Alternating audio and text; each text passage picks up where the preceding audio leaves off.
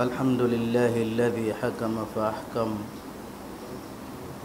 وقضى فأبرم الذي علم بالقلم علم الإنسان ما لم يعلم. وأشهد أن لا إله إلا الله الذي وصف نوحا بأنه كان عابدا شكورا. ووصف أيوب بأنه كان أوابا صبورا.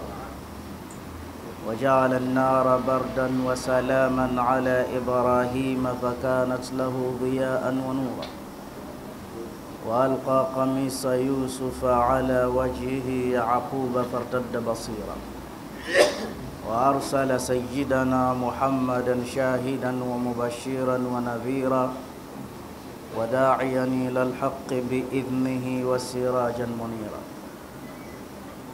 وأشهد أن سيدنا وشيخنا وأستاذنا ومعلمنا محمدا رسول الله الذي بعث بشرع كالشمس وضحاها وبقرآن كالقمر إذا تلاها. وبسنة كالنهار إذا جلاها فمن أعرض عنهما عاش في ظلمة الليل إذا يغشاها.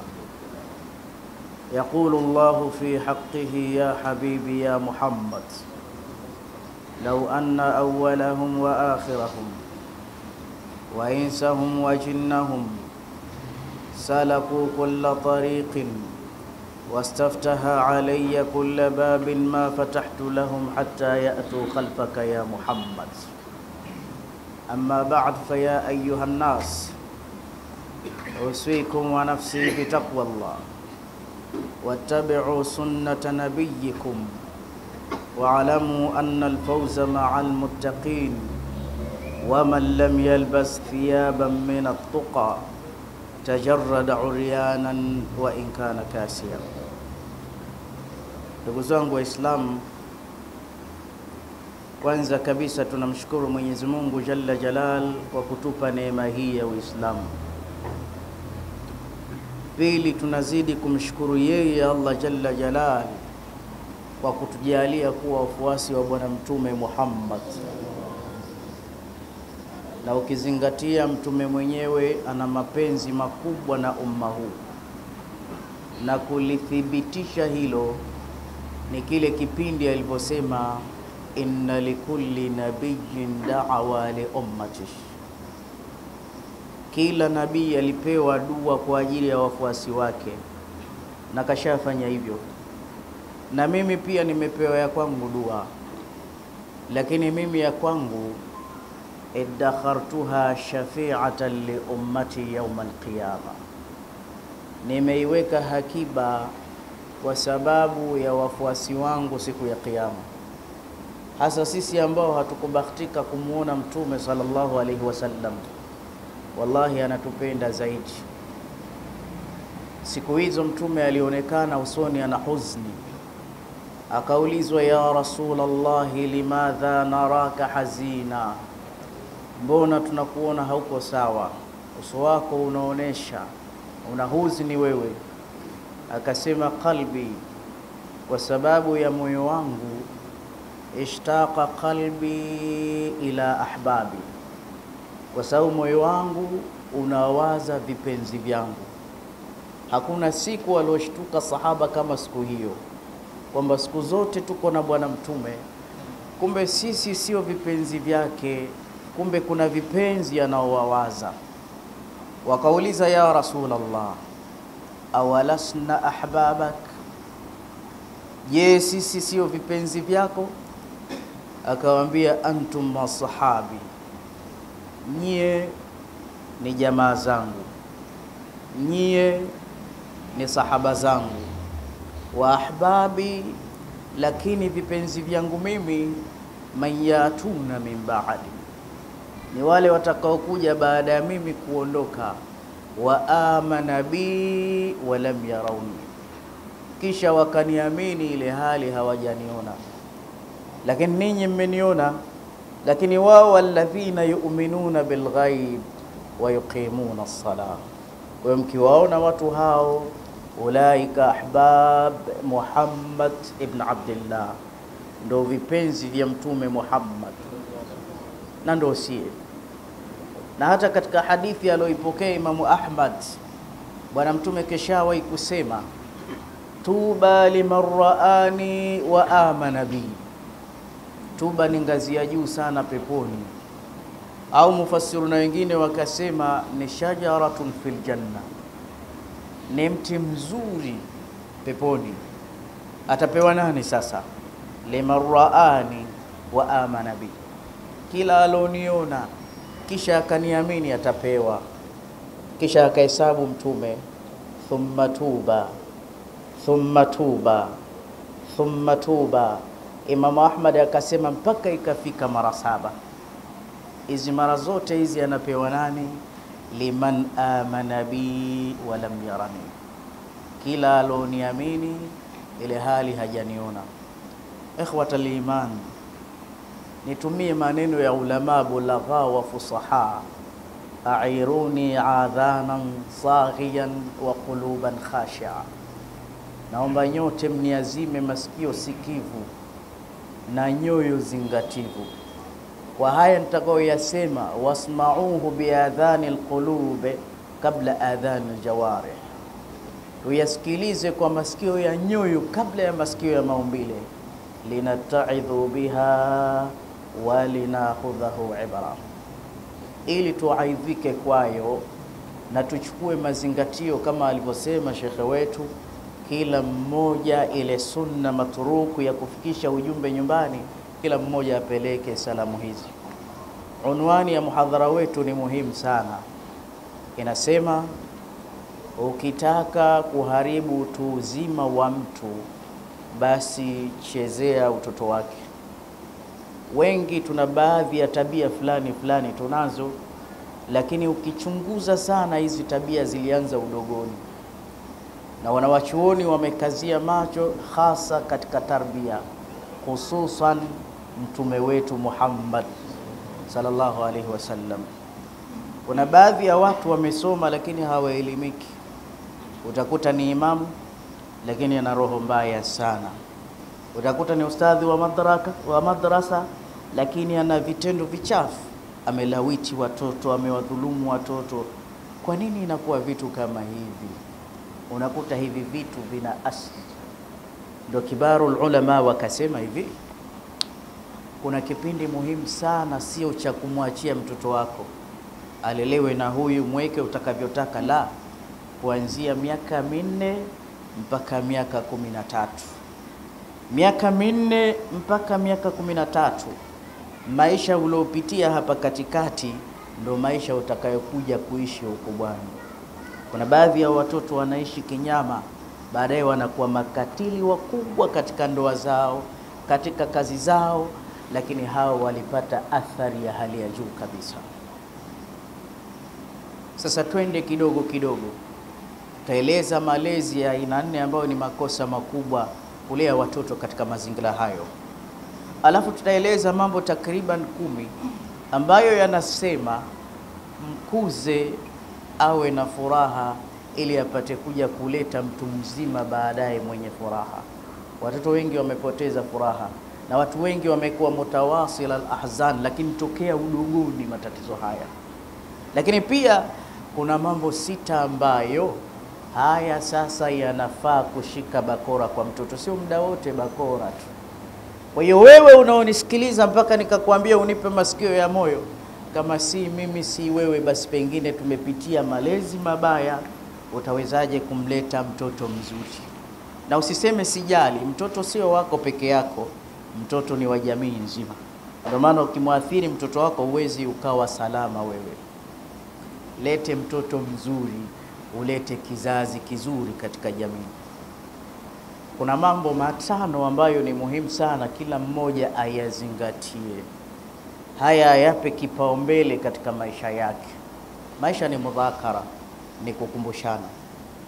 Jambo la mwanzo la kuweka mbele ni Allah na Mtume Muhammad sallallahu alaihi wasallam, ili liwe la kwanza kabisa. Mwenyezi Mungu na Mtume sallallahu alaihi wasallam. Jambo la pili, wazazi wako, lakini watafiti wa kidunia wanasema hawa wazazi bado, lakini sisi kidini tunasema kwanza wazazi, maana haqu nnasu bihusni sahabati, wa kumfanyia wema ni mzazi kwanza. Kwanza namba mbili, aje mzazi. Jambo la tatu, jambo la tatu, kabla ya mtoto, kabla ya mashekhe wenzio, kabla ya biashara zako, wanasema ni yule mwenza wako. Kama ni mwanaume, wallahi mke wako, ili jambo muhimu sana, na kama ni mwanamke, basi jambo la tatu amweke mume wake. Tunakumbuka hata ndoa ilianzia mbinguni.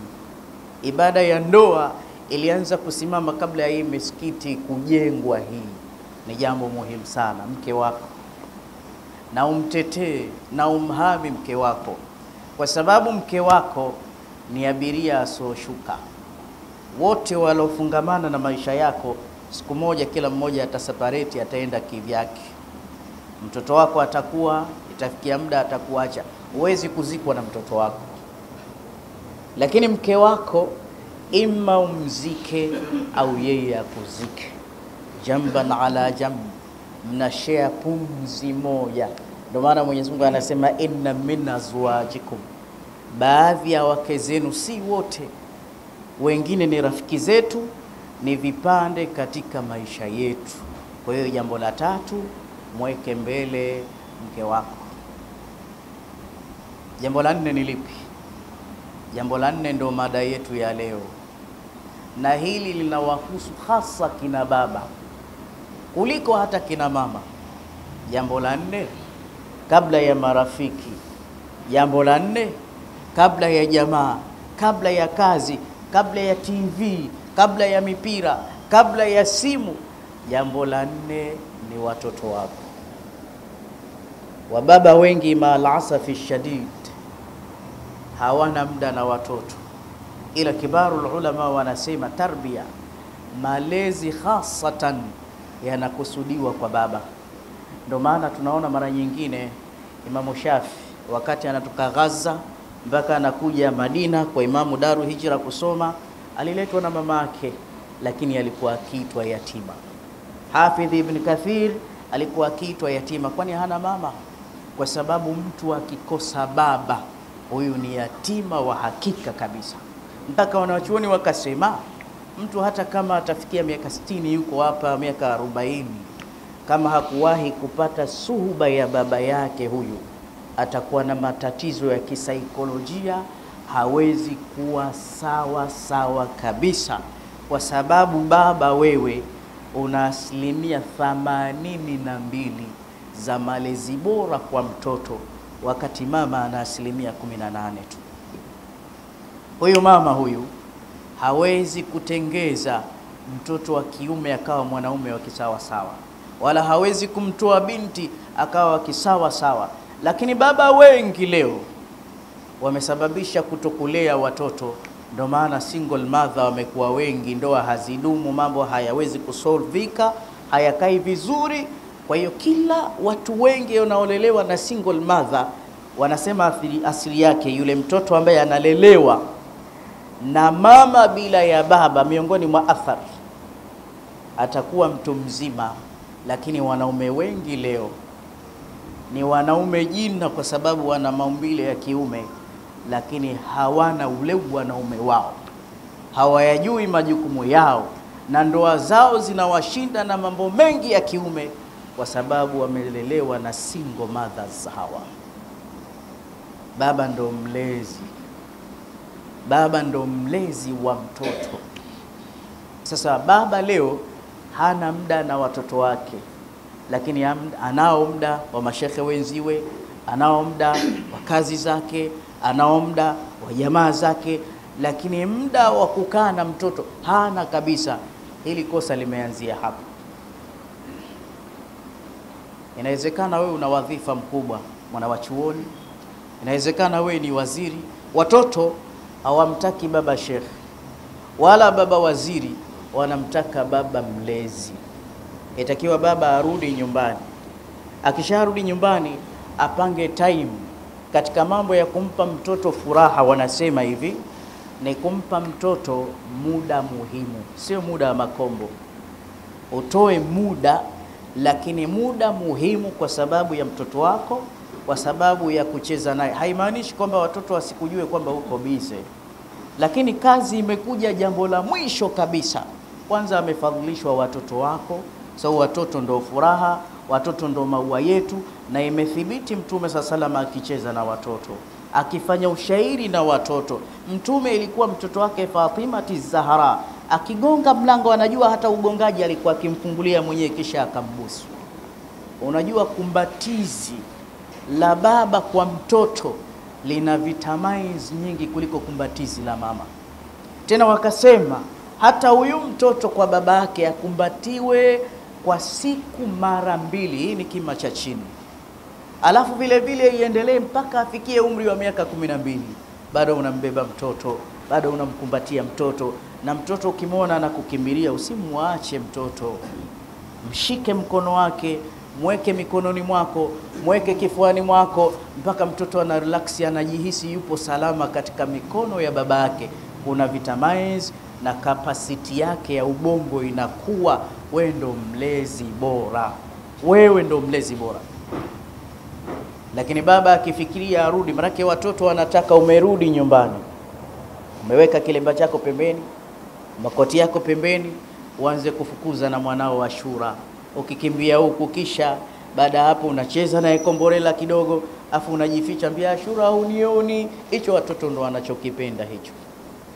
Kuna vitu vikubwa unaviweka, kuna vitu vikubwa unazalisha katika kichwa cha mtoto. Mama leo ndo mlezi. Siku moja alikuwepo mtoto mmoja akamkabili babake, akamwambia, baba, naomba unipe sifa za mwanaume bora, ili huyu tujue ni mwanaume wa sawasawa, hebu nimwagie sifa zake.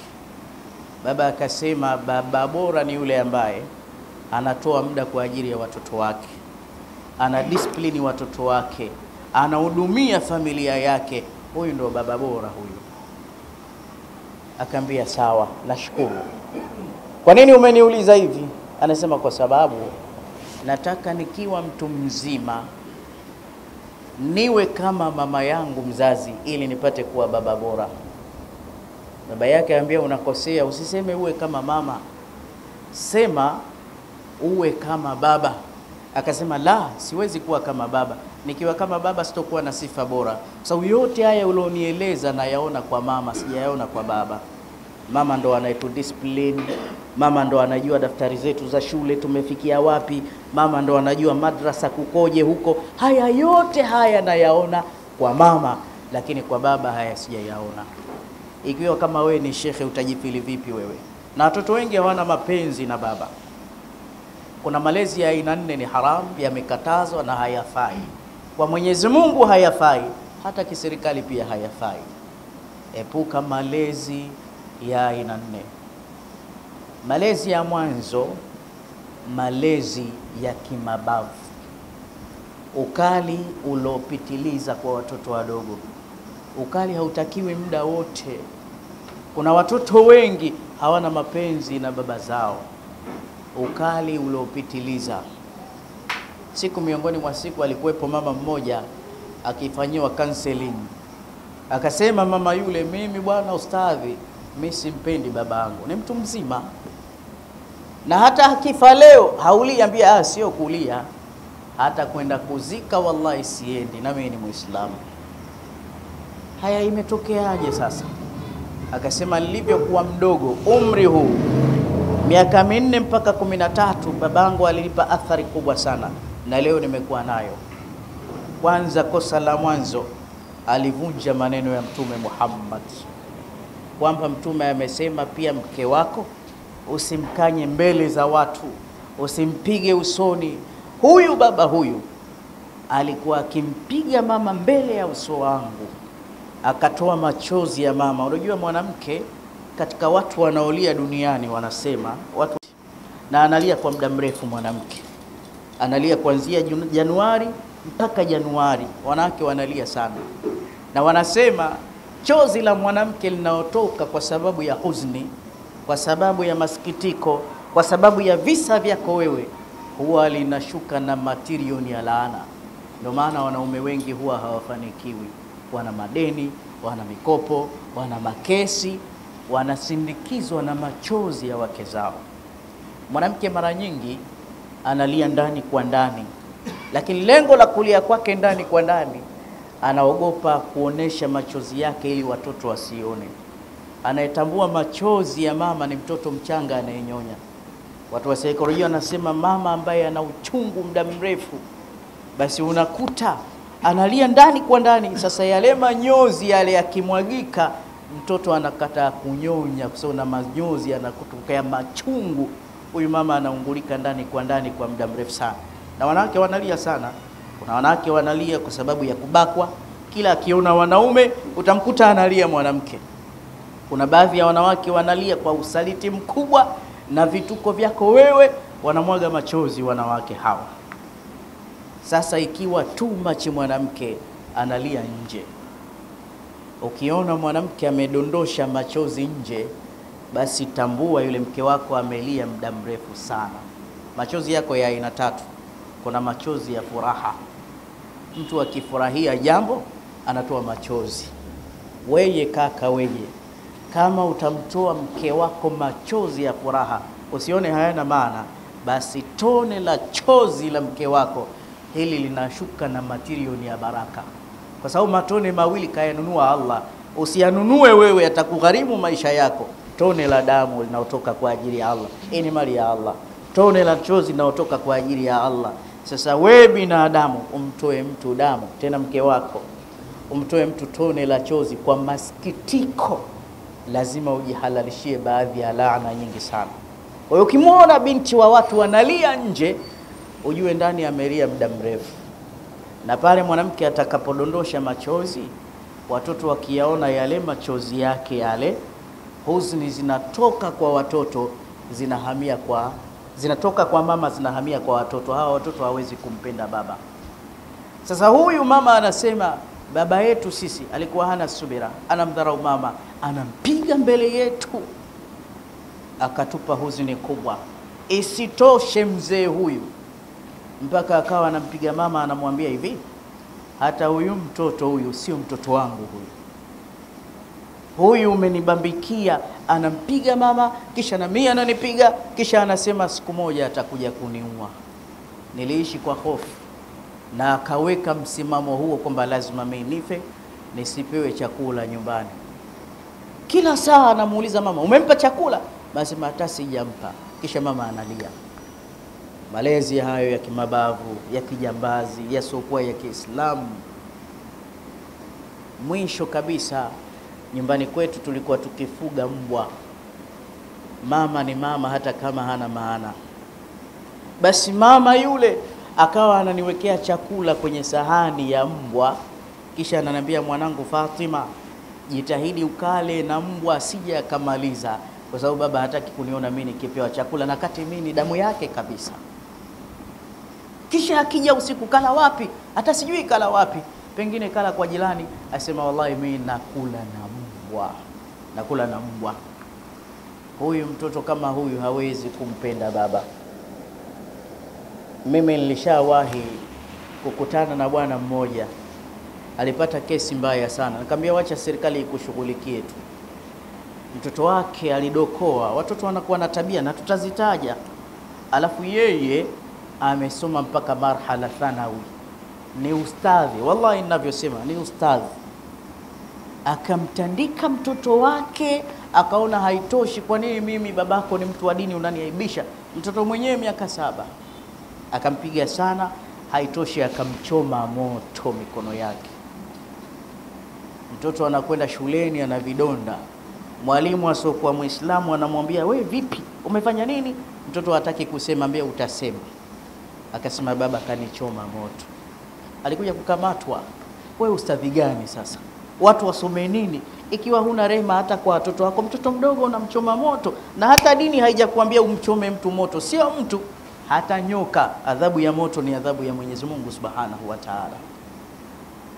Mtoto umemzaa mwenyewe, malezi ya kimabavu, malezi ya ukatili. Dini haitaki vitu kama hivi. Sasa huyu akifanyiwa vitendo hivi vibaya kuanzia miaka minne mpaka kumi na tatu, baadaye unamkuta anakuwa na roho mbaya, anakuwa ni mnyama, kwa sababu amepata athari tokea udogo. Atarbia, malezi. Usione hao wanawachuoni waliopita wamepata malezi bora, na ndio maana Mtume sallallahu alaihi wasallama amesifika kwa jambo kubwa, wa innaka la ala khuluqin adhim.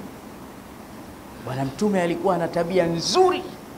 Mimi na wewe leo, kuna baadhi ya watu unamwona ni hasanuddin, mzuri wa dini, mawaidha anajua, dini amesoma, sala tano zote, lakini sayyiatul khuluq, tabia zake chafu. Mara nyingine hata familia yake hawamudu baba huyo, lakini ni khamsu salawati, ni khamsu salawati. Mwingine utamkuta sayyiatud dini, hana dini, hasali, hafungi lakini ni husnul khuluq, ana tabia nzuri. Sasa wote hawa ni rom, atakiwa mtu awe mzuri wa dini na awe mzuri wa tabia, na haya yanaenda yote kwa pamoja. Haya malezi ya kimabavu, lakini malezi mengine, wazee wengine, kuna baadhi ya mambo wanayoyafanya kuwaaibisha watoto wao bila kujali zile hisia zao. Hili nalo likosa Watoto katika umri huu cheza sana na zile hisia zao. Mfano, zamani alikuwepo mwingine alikuwa hampendi baba yake, anasema alipokuwa mdogo alikuwa na matatizo ya kukojoa kitandani, na watoto wengi haya yanawapitia. Niulize mimi, mimi hivi sasa nashughulika na tiba hizi za asili, wallahi nawatibia watoto wadogo wanakojoa mpaka watoto wazima. Kuna watu wameoa wanakojoa kitandani, haya pia ni maradhi wanatumia Pampers. Lazima mara nyingine ukae karibu na madaktari. Vipi, mbona ili halikomi? Basi sema mtoto huyu alikuwa anakojoa, baba alikuwa anampiga vibaya sana, na wengi tumefanya hivi. Kisha anamuuliza kwa nini wewe unakojoa, mbona wadogo zako hawakojoi? Ambia baba, mimi sijui, msaidie mtoto mdogo huyu. Baba hakuelewa na mtoto ule muda ukifika anajichunga, lakini lazima akojoe kwa sababu ni maradhi na lazima atandikwe kisawasawa, kipigo cha mtu mzima, mitama, mpaka mama analia, tamuumiza mtoto. Baadaye mzazi huyu, malezi mabaya haya, akawaambia wale watoto wengine, huyu mhameni chumba, msilale naye, alale peke yake, na hilo godoro anaokojoa sitaki kumwona mtu akalianike, libaki humu humu ndani likiwa linatoa harufu, na milango mfunge na madirisha Alafu usiku mtoto mdogo anaingia chumba kizito, hajali hata afya yake, kamzaa mwenyewe, kamzaa mwenyewe. Mtoto anaingia harufu kali, analala umo umo. Akasoma mpaka akafika darasa la tatu la tano shuleni, matatizo ya kuwaasili hisia za watoto.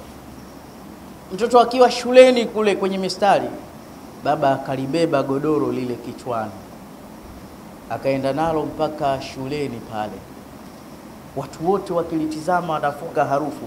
Hey, vipi? Ambia mwalimu, samani sana, mimi namtaka mwenye godoro hili apite mbele. Mwenye godoro hili mwenyewe anajijua apite mbele. Yule mtoto akapita kwa unyonge mkubwa sana. Baba akasema, mmeona jitu zima hili hapa ndo linapolala linakojoa jitu zima, hebu mzomeeni kidogo. Shule mtoto ikamzomea akajisikia vibaya, dunia imemcheka, shule imemcheka.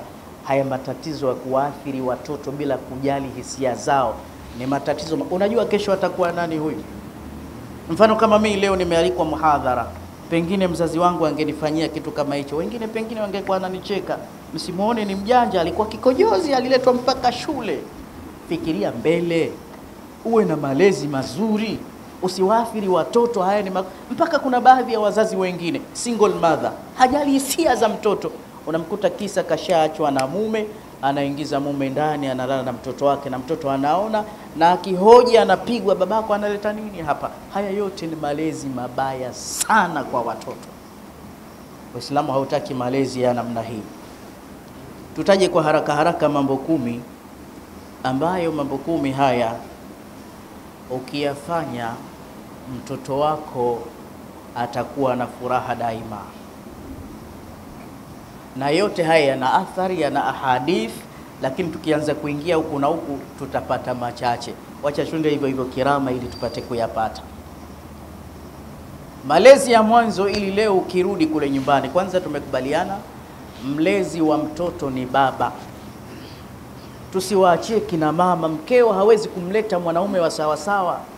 Kaa naye mtoto wako, mpe muda. Umezaa mwenyewe, kaa na mtoto wako, mwelimishe.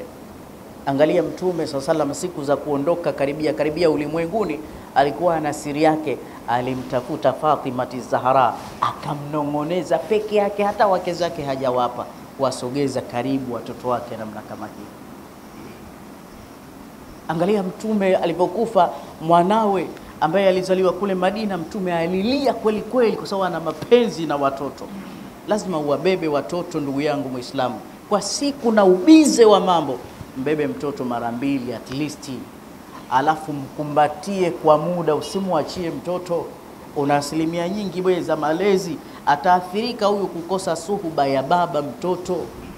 Kuna baadhi ya watoto hata hajazoea kuita baba, so baba hana muda naye kabisa, hana muda naye. Malezi ya mwanzo, ili umlee awe na furaha, wanasema jambo la mwanzo kabisa, jitahidi kusoma hisia za mtoto wako. Watoto mara nyingine wanaumizwa, watoto mara nyingine wanahuzunika, watoto mara nyingine wanalia. Basi muulize mtoto wako, una nini baba leo? Umepatwa na kitu gani? Haya anahitaji muda. Haya pengine katoka huko, maskini ya Mungu, baadhi ya madrasa ambazo zina feli, kafanyiwa vitendo vichafu mtoto, kwa sababu huna muda naye, huwezi ukajua wewe. Mweke chini, soma hisia zake. Ukijua kwenda na hisia za mtoto, huyu mtoto atakuwa ana furaha maishani milele na milele. Jambo la pili ambalo ni muhimu sana kwa mtoto, wanasema usimpe sheria nyingi kuliko umri wake. Najua kila mmoja anatamani mtoto wake awe shekhe, awe ustadhi, awe msomi. Ukimwovadozi unamharibu. Ndio maana utakuta wale wasomi wa dini watoto wao hawataki dini, wanakuwa sugu. Jamani, kweli si kweli? Ukiambia yule mtoto wa ustadhi fulani hata ukubali. Mtume saa sallam mwenyewe asema murubna akum li sab'in, hawa watoto wakianza kufika miaka saba anza kumpa amri kidogo ya kuswali. Hapo bakora kwa mtoto bado hamna hapo, lakini utamkuta mtoto ana miaka mitatu miaka minne anatiwa bakora, anashindishwa na somo, lazima utaikamilisha hii somo, ole wako ule. Haya ni makosa. Mtoto anacharazwa chini ya miaka saba, kisa atakiwa aswali swala zote tano. Mtume asema kuanzia miaka saba wa kwanza wa pili sali naye, nenda naye. Ikifika miaka saba mwamrishe nenda ukasali, nenda ukasali, usimpige. Wadhribuhum biashr. Ikianza kufika miaka kumi, anza kumtia kidogo bakora, kwa sababu nyumba ambayo ina bakora, kwa sababu ya kuadabisha watoto wakipuuza amri za Mwenyezi Mungu, hii nyumba inarehemewa sana. Mtume anasema miaka kumi hii. Kwa hiyo mtoto wako usimpe sheria nyingi kuliko umri wake. Ukuta mtoto unampa mambo mengi, hana hata kurelax. Ndio kesharudi sasa hivi shule, unaambia nenda kajisomee. Baba, nishasoma tayari. Aya, nenda kafue nguo za shule. Nishafua tayari. Aya, nenda kalale. Baba, nishalala tayari. Hana hata muda wa kurelax. Mwisho kabisa unamharibu mtoto, anaishi kama mfungwa, anaogopa hasa. Hilo ni jambo la pili. Wanasema jambo la tatu kwa mtoto, jambo la tatu kwa mtoto, mtoto wako mpe uhuru wa kucheza michezo. Kwa mtoto kuna vitu vinaongezeka kichwani, maisha na magumu, lakini ukiwa una uwezo mnunulie mpaka vitu vya kucheza. Usimzuilie mtoto wako kucheza, japokuwa unafuatilia anacheza michezo gani.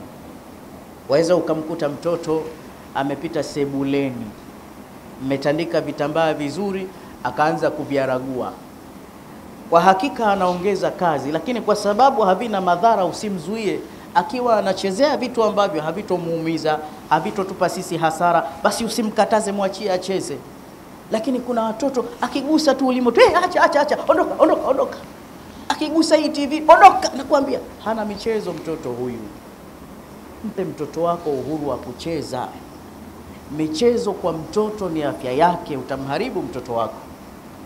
Hili ni jambo la nne ambalo ni jambo muhimu sana. Wanasema jambo la tano, la nne, wanasema jambo la nne pia mpe uhuru wa kuonesha talanta yake, malakati. Mpe fursa ya kuonesha kipaji chake mtoto wako. Hakuna aliozaliwa mbumbumbu tu hajui kitu. Mpe hiyo fursa hiyo, mtizame mtoto wako akiwaona watu gani anakuwa ana furaha. Utakuta kuna baadhi ya watoto wakiona baadhi ya mashekhi fulani anawaiga, msikilize mtoto wako, mwendeleze, anaweza akaja kuwa mtu mkubwa baadaye. Mimi zamani za kale, mimi fundi magari, nimepumzika siku hizi hizi tu, dunia ina kizunguzungu, lakini hasa talenti yangu na shehe wakati anajua, na kama sikosei, nishawahi kumtengenezea gari yake. Mimi tokea nilivyokuwa mdogo napenda magari ya ajabu, na nilikuwa namsumbua mama yangu, yaani nikiona gari imepita daladala nalilia, naambia lile nalitaka, ambia baba la watu lile. Siku hizo mama wa watu wakaja, kanga yake imevimba, watu waambia umebeba nini? Katoka mbali, maskini kaona gari njiani, watoto wanaendesha, kalinunua ili aje kuniridhisha mimi. Angalia mapenzi haya. Basi nilifurahi kweli kweli, lile jambo lilinikaa kichwani mpaka Ilala hii nilikuwa fundi mahiri kweli kweli. Hata hivi sasa sifanye ufundi, lakini niko na gari zaidi ya moja na watu wanajua mzuka wangu magari. Ni jambo langu tokea zamani, nalipenda sana. Kwa hiyo mtoto wako mtizame talanta yake ni nini, akiwaona watu gani. Lakini wewe unamwona mtoto wako mara anapiga adhana, hey, toka nenda shule, acha hayo mambo yako ya adhana adhana. Pengine huyu atakuja kuwa kari mkubwa baadaye. Mtizame ana, ana, ana, anapenda nini huyu mtoto, mpe fursa ya kuonesha kipaji chake, na haya ni malezi bora sana kwa watoto. Mpe michezo mtoto. Shekhe anasema jambo la nne. Wanasema jambo la tano kwa mtoto wanaita check in. Ingia undani wa maisha yake mtoto, mfuatilie mtoto wako, simwache hivi hivi tu.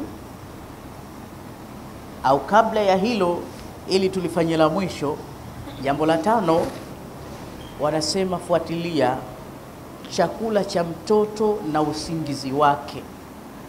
Ni baba huyu, sio mama jamanini, baba chakula na usingizi kwa mtoto ni tiba. Hata kama tumeshawapa uhuru wa kucheza, sio kwamba ndo atizame TV mpaka saa nne za usiku. Angalia huu muda mtoto hivi sasa wakalale. Fuatilia hili jambo hili, usimwachie kila kitu mfanya kazi tu. Watoto washakula, mara nyingine watoto wanakula vyakula si sahihi, wanakuwa na utapia mlo. Wanasema inna fi'la raddu fi'l, hata ikiwa jambo la hospitalini, wanasema mtoto anaumwa kamchukue mwenyewe mtoto wako. Ndio maana nikasema utoe muda muhimu. Hivi sasa nipo kazini, lakini mtoto wangu anaumwa. Nao madereva wengi, usimwambie mke wangu, mwambie fulani mpeleke mtoto kliniki. Si unaona hata ukienda leo mambo ya hospitalini, mke wako akiwa mjamzito, mwanzo wa mimba, asema umuite na baba yake, lakini mke anasema ah, baba watoto ni kiburi, hawezi kufika hapa hata iweje. Sasa huyu mtoto baadaye akishakuwa mtu mzima, baadaye si wewe haumtunzi, itafikia hatua na wewe utaumwa mtu mzima. Baada haja ya kukupeleka hospitalini, atatoa tu dereva, mpeleke mzee anaumwa, kwa sababu wewe pia hukumshughulikia alipokuwa mdogo. Naona adhana, naomba nikamilishe baadhi ya maudhui. Jambo jingine, fuatilia michezo ya mtoto ile, fuatilia michezo ya mtoto. Tuadhini kwanza, sio? Haya, hizi dakika tano zinatosha kumaliza mambo. Mtoto wako pia fuatilia michezo yake ikoje, muulize kuhusiana na marafiki zake kule shule, muulize kati ya yeye na mwalimu wake wanaishi vipi. Akienda madrasa, mfuatilie. Ana uhusiano gani mzuri na mwalimu wake, mambo gani anamuudhi kuhusiana na mwalimu wake. Kaa naye mtoto wako, kaa naye binti yako, pia muulize na mwalimu, muulize mtoto wako anajua nini kuhusiana na maambukizi ya ukimwi, anajua nini kuhusiana na mambo haya ya uasherati. Hiki ndio kipindi cha kukaa na mtoto hiki na kumkanya na kumuona. Mfuatilie sana mtoto wako, muulize majina ya marafiki zake, usimwachie hivi hivi tu. Utamkuta mtoto umemwachia dada yako ni shangazi yake, kumbe kila siku anampiga mtoto. Watoto hawajui kujieleza. Cheza na hisia zake, mfuatilie mtoto wako. Mara nyingine sema a a, na mambo mengi, lakini mwanangu, niachieni mimi mwenyewe. Ni kitu muhimu sana, mambo ambayo yatapasa bakora kwa mtoto. Mambo manne, tufidie dakika tano. Mambo manne haya bakora kwa mtoto inahitajika, sio kila pahala bakora tu, pahala pengine ni kumwachia mtoto. Wanasema jambo la mwanzo, mtoto wako akiwa ana tabia ya kukasirika kivitendo, kwa action.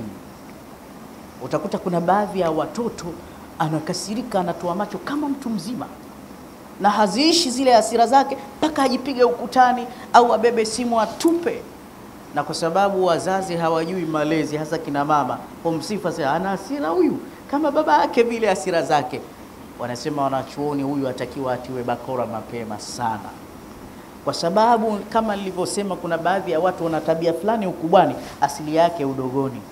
Kwa sababu huyu mtoto baadaye akiwa na hasira hizi, hata akiwa mtu mkubwa, ndo yule yule anayekasirika kwa vitendo. Nyie hamjawahi kuona au hamjawahi kusikia Mwanza mtu kakasirika kahamaki juu ya mke wake kampiga shaba kamuua mke wake, asili yake ni udogoni. Hamjawahi kuona watu kwa daladala dakika mbili tu wanapigana ngumi, anakasirika kivitendo. Lakini angefundishwa mwanangu, hasira hizi ziache, kuwa na subira, hili halifai na kuna zaidi yako yuko baba, basi huyo angeingia katika kundi walkadhimina alghaidha walafina anin nasi wallahu yuhibbul muhsinin. Mwambie mwanangu, laisa shadidu bisura, lakini kuna vitoto kidogo tu tayari kashafura ashatupa chakula. Siku moja niliona kipindi kimoja, mama mmoja alikuwa akimlisha mwanaye keki, akakosea akamlisha pembeni. Mtoto aliibeba ile keki akatupa chini, mtoto mdogo, alafu watu wanacheka. Mimi nilikuwa naye kijana wangu anaitwa Sudeisi, alikuwa na tabia mdogo, miaka miwili mitatu, kidogo tu kashatupa kitu, kashatupa simu nikawa namfinya mfinya, ikawa akikasirika, anaangalia baba hayupo. Akiona yupo, basi unakuta ananyamaza tu mpaka ile ugonjwa ukapona kabisa. Hili si la kumwachia mtoto. Jambo la pili ambalo hutakiwi umwachie hata kwa bahati mbaya, tabia ya uongo kwa mtoto. Mwambie mtoto wako, hii nyumba kusema uongo ni marufuku kwa njia yoyote. Hii haisemwi uongo, ajua akisema uongo ni balaa kubwa lakini wewe mzazi, kwa sababu ulikosa tarbia, wewe unamfundisha mwanao uongo. Unamkuta mtoto kakosea, alafu unakuja juu, niambie mwanangu, umempiga mwenzio? Hujampiga? Mpromise, ukiniambia ukweli. Mtume asema inna sidqa yunji, mwanangu, nitakuacha nitakusamehe. Ukinidanganya fa innal kadhiba yuhlik, sikuacha, takupiga. Unakuta mtoto ana sacrifice, anakuambia ukweli, ni kweli baba, niliiba ile nyama ni kweli nilimpiga, kisha kuambia ukweli, alafu wewe unamwongezea mara mbili. Huyu baadaye ataona ukweli hausaidii, lazima atakuwa mwongo. Na kuna vitoto viongo, analia mpaka unamwamini, lakini wallahi mwongo. Wanasema ukiona wazazi wanapiga ngoma, usilaumu watoto kucheza. Malezi. Alikuwepo ustadhi mmoja, kila siku anamfukuza mtoto madrasa. Huyu mtoto alikuwa kila akija darasani amenyua panki ile kiduku Ustadhi sema wewe unakuja kihuni msikitini, wewe hufai kuja hivi. Anamcharaza kidogo, nywele zikikuwa tena ananyua tena kiduku. Na hata kama kuna mtu kaja nacho ansamehe, tunasema mfano tu. Ustadhi akaona hii kesi kubwa, akaambia sasa, babako akija siku akiwa haendi kazini, niite niongee naye babako. Siku hiyo baba akawa hajaenda kazini Akampigia mwalimu, nasikia unanitafuta. Ambia naam, njoo, nipo nyumbani. Akasema nakuja, tusaidiane kumlea huyu mtoto. Lakini baba alipofika, ustadhi alipofika kwenye nyumba ya baba, la haula, akamkuta baba mwenyewe ana bonge la kiduku kuliko la mtoto. Akaambia ustazi, nilikuwa nasikia unanitafuta. Vipi bwana? Ambia naam, nilikuwa nakutafuta. Kulikuwa kuna jambo gani? Ambia alikuwa nakuja kukusalimia tu, amna jambo jingine la ziada tena. Atasema nini ufikiri? Niseme la mwisho au muda umeisha? Amefuata sunna ya babake. Kwa hiyo mtu ajitahidi sana amfundishe mtoto wake ukweli. Jambo la tatu, jitahidi kumfundisha mtoto wako asiwe na lugha za kuumiza kwa wengine, asiwe na lugha za kuumiza. Uislamu unatizama mpaka vilma.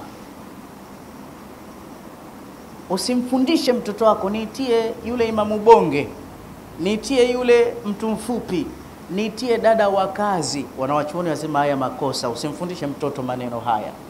Mwite dada ya kazi, kwani hana, kwani hana jina lake? Mtume asema hawa wafanyakazi wenu hawa ni ndugu zenu, hawa kaeni nao kwa wema.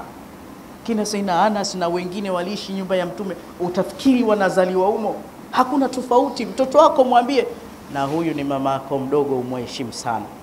Siku miongoni mwa siku atazoea lugha ile, kisha yule mtu atakuwa ameacha kazi, atakuja pale nyumbani na watoto wake kusalimia, atasema mama, dada wa kazi kesha kuja. Hii ni lugha ya kuumiza, hii hairuhusiwi hii hii hairuhusiwi kabisa. Tena wanasema lugha ya kuumiza inategemea we mama unavyowaita wafanya kazi, We dada wa kazi, we we house girl, we we house boy, we. Hizi lugha si nzuri, pamoja na kukaripia, pamoja na kukaripia. Yaani mtoto wako ukimtuma kitu, niletee kitu fulani, akikosea mwambie sio hicho babangu, niletee kile, usimkaripie. Lakini we nakutuma, uelewi, unaleta hivi wanasema huyu mtoto huyu anasoma kichwani. Aha, kumbe ukiongea na mtu ili apate kukuelewa lazima umkaripie, umfokee kwa sauti. Ukiongea kwa kawaida hawezi kukuelewa. Ndio unamkuta mtu yuko msikitini anabwata, anafokea tu, ndio keshazoeshwa hivi. Ni tabia za kuanza udogoni. Ndugu zangu wa Kiislamu, malezi ya watoto ni mlango mpana sana, ni mlango mpana sana na ni mambo mengi sana, lakini tukumbuke ya kusema, ukiona mtu ana tabia fulani ukubwani, asilia yake ni udogoni. Mlee mtoto wako awe na furaha, ili apate kuja kuleta mtu mzima baadaye mwenye furaha. Mtoto sio mtoto wako peke yako, mtoto ni wa jamii nzima. Kwa hiyo jitahidi kuleta watoto wazuri, hasatan watoto wa Kiislamu. Tunamwomba Mungu atuwafikishe katika malezi, mimi na nyinyi kwa pamoja. pate adhana inshallah.